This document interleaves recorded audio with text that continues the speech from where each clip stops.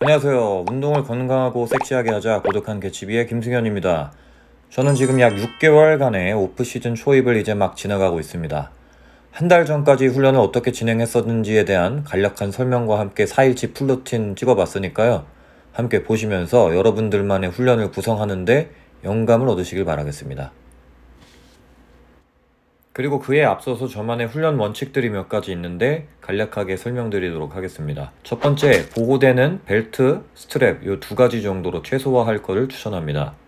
두 번째, 스스로 제어 가능한 중량과 가동 범위, 정확하고 일관된 템포를 설정한 뒤에 이를 일관되게 유지하는 횟수만 카운트합니다.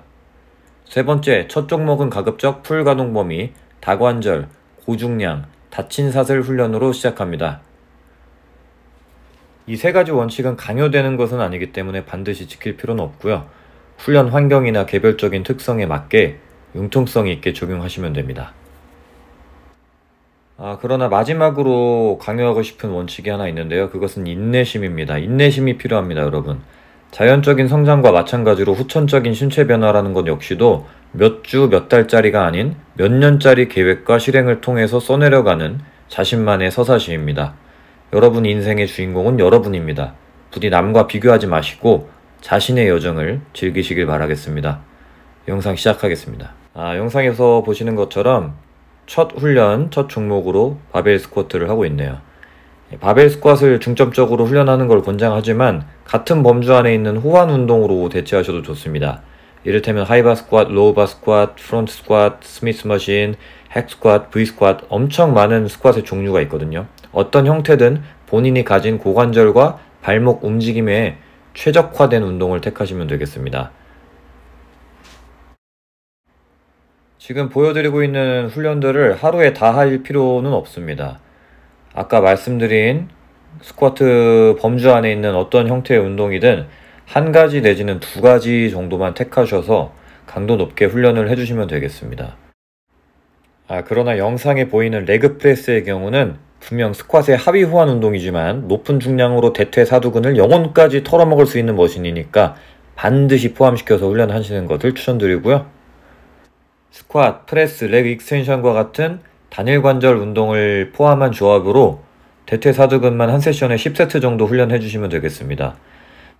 다른 부위도 마찬가지로 해당되는 이야기인데 만약에 단일 부위가 10세트 안쪽으로 충분히 운동되는 느낌을 못 받으셨다면 운동 강도 문제입니다.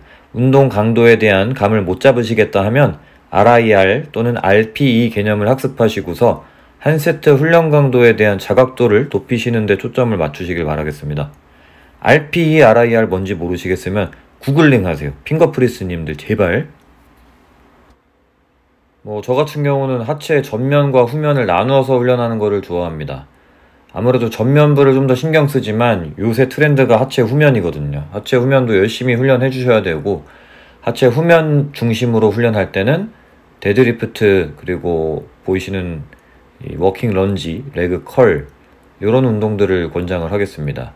hip thrust도 참 좋은 운동입니다. 영상에는 담지 않았는데 hip thrust도 종종 해주고 있습니다. 훈련하다 보니까 좀 시간이 꼬이기도 해서 오전 오후 훈련을 좀 나눠서 했습니다. 오후에는 deadlift를 중점적으로 훈련을 했고요.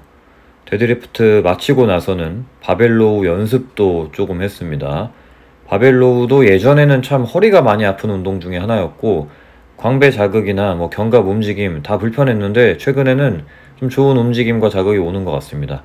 중량을 높이는 데 좀 초점을 맞추고 있다 보니까 자세가 조금 어색한 경우도 있어요. 그래서 연습이라고 제가 표현한 겁니다. 훈련이 되기에는 동작이 미숙하기 때문에 충분한 훈련이 되고 있지 않기 때문에 저는 연습이라고 칭하겠습니다. 정확한 자세를 연습을 하려고 하는 게 중량을 올리는 것보다 훨씬 더 좋은 결과물을 내더라고요. barbell row 이날은 좀 중량을 욕심을 내봤더니 좀 마음에 안 듭니다. 그래서 원래 barbell row만 하고 끝내려고 했는데 지금 보이는 것처럼 single arm pulldown으로 광배근 targeting을 해서 역시나 적은 세트 3세트 이하로 훈련을 해줍니다. 이 편측성 훈련이기 때문에 척추 정렬이 좀 깨져 있을 경우에는 권장이 되질 않습니다. 여러분들은 양손으로 하는 훈련을 많이 하시는 게 좋을 것 같아요. 광배근 targeting 했으니까 이제 승모근 targeting 훈련도 하나 해줍니다. 팔꿈치를 몸통에 붙이는 게 아니라 벌려서 승모근 훈련에 적합하게 세팅을 해주고요. 다만 너무 견갑을 꽉꽉 모으려고만 초점을 맞추시면 오히려 운동이 안 될 수 있으니까 예, 이것도 연습이 필요할 겁니다. 다음 날입니다. overhead press로 시작합니다. 하체의 힘 뿐만 아니라 전신의 힘을 많이 필요로 하지만 하체는 안정과 지지의 역할로서만 끌어다 쓸 뿐입니다. 그렇기 때문에 하체 역할을 살짝 배제시킨 코어와 하체의 힘을 덜 필요로 하는 seated dumbbell overhead press를 보조 훈련이나 메인 훈련으로 진행하셔도 좋습니다. 저는 이날 둘다 아, 강도 높게 진행을 해봤고요. 이어서 incline chest press도 3세트 정도 수행을 했습니다. 어깨 운동하는데 갑자기 왜 chest press냐 하시겠지만 밀기 훈련할 때 어깨를 중심으로 미는 날과 가슴을 중심으로 미는 날 이렇게 둘로 나누어서 훈련하기 때문에 어깨와 가슴 같이 훈련한다고 보시면 되겠습니다. side lateral raise의 경우에도 덤벨을 선호하지만 오프 시즌이라서 좀 더 무거운 중량을 들고 있습니다. 무거운 중량 다룰 때와 가벼운 중량 다룰 때 자세가 미묘하게 다릅니다. 여러분들이 판단을 어떻게 하실지 모르겠지만 지금처럼 약간의 반동을 준다면 고중량이고 이렇게 벤치를 활용해서 chest supported raise를 한다면 상대적으로 저중량이라고 보시면 되겠습니다. 그리고 보시는 바와 같이 둘 다 하시는 것을 권장드리겠습니다.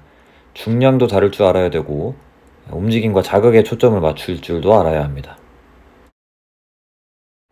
이어서 후면 삼각근입니다.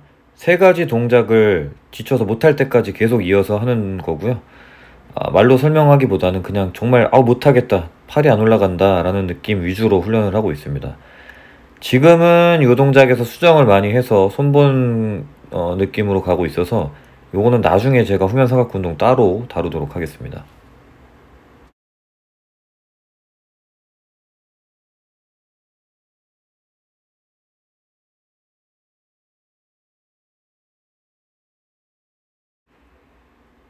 팔 운동입니다. 상완 이두근 훈련이고요. 인클라인 벤치 활용하셔서 몸통보다 팔이 좀 더 뒤에 나가게 유지하신 뒤에 팔꿈치가 움직이지 않게 고정해서 계속 텐션 걸어놓고 훈련하시면 되겠습니다.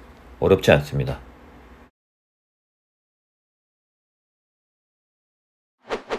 3일차입니다. 당기기 훈련이고요. 렉풀을 먼저 하고 있습니다. 여러분 제가 렉풀을 잘 안합니다.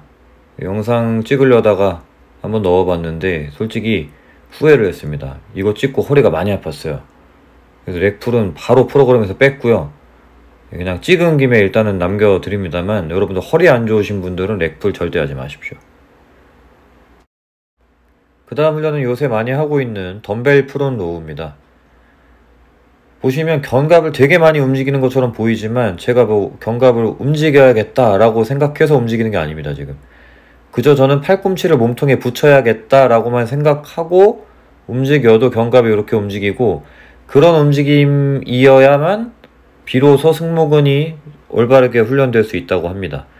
지금 보시는 seated row도 역시나 마찬가지입니다. chest supported seated row인데 이 역시도 저는 광배근 움직임을 뭐 초점을 맞춘 건 아니지만 견갑을 그냥 쓰지 말아야지 라는 생각으로 훈련을 할 때 오히려 승모근이 잘 훈련되는 느낌을 받았습니다. 이게 말장난 같지만 직접 해보시고 또 촬영해보시면 이해하실 수가 있을 겁니다. 이어서 undergrip pulldown입니다. 일반적인 wide grip보다 저는 광배 targeting 하기가 더 수월했고요. 광배근 뿐만 아니라 대원근까지 끝까지 늘려주는 동작을 통해서 광배근과 대원근 모두 훈련되는 것을 의도를 하지만 역시나 테크닉적으로 좀 어려운 운동에 속하는 것 같습니다. 제 기준입니다. 제 기준. 그리고 이어서 견갑 내전이 좀 더 수월한 pulldown입니다. 타원을 그리게 되기 때문에 견갑 내전이 좀 수월하고요. 대원근 target입니다.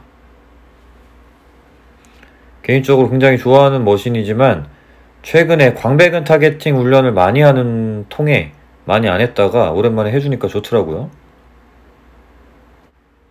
그리고 이어서 또 후면 삼각근입니다. 뭐 괜찮은 기구가 있어서 가지고 기구 활용해서 후면 삼각근 훈련을 했습니다. 아, 후면 사각근은 거의 실패 지점에 도달할 만큼 강도 높게 진행을 하시는 게 좋은데 이 강도를 뽑기가 참 어려운 부위이기도 합니다. 움직임에 초점을 맞춰야겠죠. 그래서 저도 사실 좀 불안했습니다 동작이. 그래서 원래 하던 걸로 다시 마저 했고요. 역시 하던 게 최고입니다. 안 하던 동작은 연습이 좀 안 되면 올바른 운동이 안 되고 강도도 못 뽑습니다. 그래서 강도를 뽑기 수월한 익숙한 동작으로 훈련을 구성을 하는 게 바람직한 이유입니다. 사실 보이는 것처럼 이 동작도 역시나 저한테 온전하게 연습이 된 동작이 아니라는 느낌을 받았기 때문에 이거를 연습하기 위해서 또 한 것도 있습니다. 그나마 자극이 좀 자랐죠. 최근에 이제 제가 수정한 동작이 저한테 최고로 어, 좋은 후면 삼각근 운동이라는 생각이 들어서 그 영상은 아까 말씀드렸다시피 다시 소개를 하는 걸로 하겠습니다.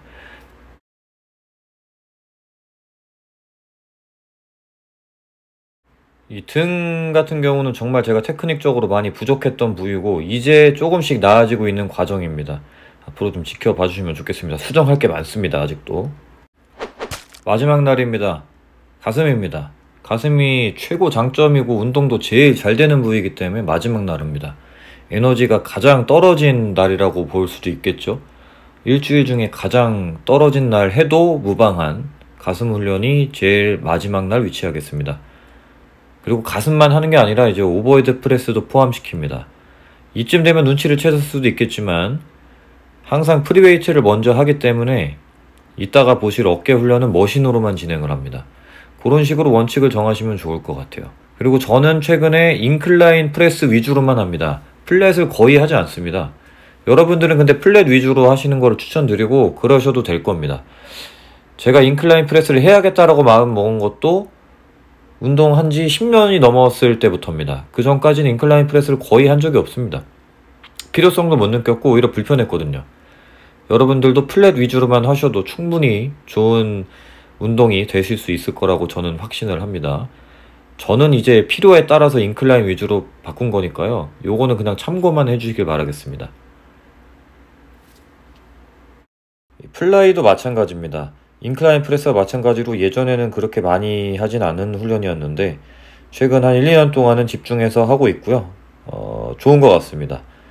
그러나 초보분들이나 또는 프레스 자체로도 가슴 훈련이 좀 안 된다 하시는 분들한테는 그렇게 추천드리지 않겠습니다.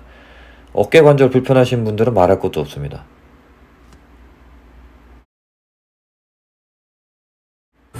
이어서 standing overhead press machine과 seated overhead press machine 이 두 가지를 두 세트씩 총 4세트 진행을 해봤습니다. 이틀 전에 overhead press를 free weight로 두 가지를 이미 수행을 했기 때문에 이날은 machine으로만 진행을 했습니다. 이렇게 machine과 free weight를 계속 반복적으로 교차시키면서 훈련을 하는 게 저한테는 좋은 방식이라고 생각이 들었습니다. free weight 중심으로 어떤 부위를 했다면 그 다음에 보조 부위는 machine을 활용하는 방식으로 훈련을 하는 겁니다. 여러분들도 한번 참고해서 훈련을 해보시면 좋을 것 같고요. lateral raise 역시도 이틀 전에 free weight를 했다면 이날은 또 machine으로만 진행을 하는 모습을 볼 수 있습니다. 이런 식으로 자기만의 원칙, 좀 과학적인 근거나 이런 게 또 어느 정도는 필요하겠죠. 어, 자기만의 원칙을 만드시고요. 그리고 그 원칙이 우리의 트레이닝의 원리에 부합을 하는가를 생각을 해보시고 부합한다면 그거 그대로 밀고 나가셔서 어, 자신만의 철학이 담긴 운동을 만들어가는 재미가 있을 겁니다. 여러분들 오늘 영상 어떻게 저만의 개똥 철학이 담긴 운동 보시면서 어, 여러분들 운동 조합 만드시는데 좀 도움이 되는지 모르겠습니다. 현재는 또 다른 훈련들을 추가하고 수정한 상태라 좀 다릅니다. 반응 좋으면 현재 훈련 버전으로 또 하나 만들어 볼 테니까 좋아요와 댓글 구독 부탁드리고요. 건강하고 섹시한 보디빌딩 라이프 즐기십시오. 김승현이었습니다.